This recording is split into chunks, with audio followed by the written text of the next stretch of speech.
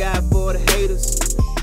And um, the dude they they haven't released the guy's name who caught the screen, but he got it he got it screened, and when he got hit with the screen, he fell on the on the floor, fell on the floor, Mm-hmm. got up, walked out, said he called he called the police. Mm. Everybody just went on about their business, like you know, like he tripping, he crazy, he just joking, whatever, whatever. Right. Sure enough, the dude came back with the police. um, I guess the guy, well, I ain't gonna say that. Somebody, I guess this is a witness, Mm-hmm. uh, posted on Twitter. His name is Trap Money Benny. Uh, Nice name. tweets today for the first time in my life.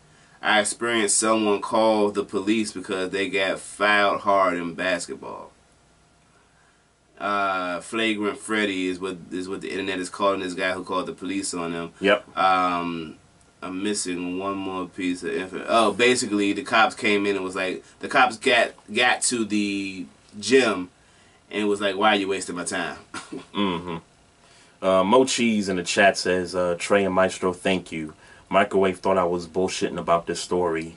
yeah, flagrant Freddy. This is the happened. dude. Yeah, flagrant Freddy. This happened. Yeah. Um, look, un- unless you're Wood Harris at the shootout, trying to pull out the nine and trying to pop a nigga on the, in, the court, in the, from above the rim, it ain't no reason to be, you know, bringing the cops involved in, the, in a pickup game, man. It, I mean, look, I don't even know why we really got to cover this. Besides, um, this nigga's a clown. there's no reason for that. Yeah, I, I, I, I- I don't think I don't. I would hope that nobody thinks that there's ever a situation where you should call the cops at a pickup game. Ever. Nope. I don't give a fuck if he put out a gun in that. no, shouldn't be a reason for that. Nah. Well, shout outs, shout outs to Trap. Trap. I forgot the, the nigga Mhm. name already, but the Trap nigga who tweeted the situation. And I don't want to call Flagrant this Freddy. You Mhm. know, Trap Money Benny was the guy's name, and to Flagrant Freddy, trap money Just stop- Benny. just stop playing basketball, bruh.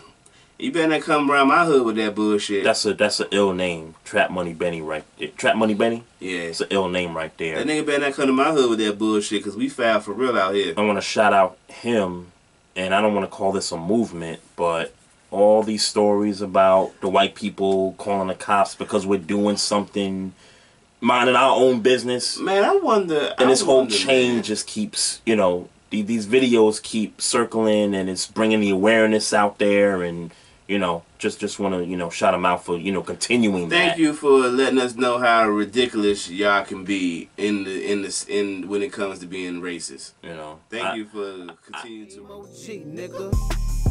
Thank God for the haters, though. I thank God for the haters. Thank God.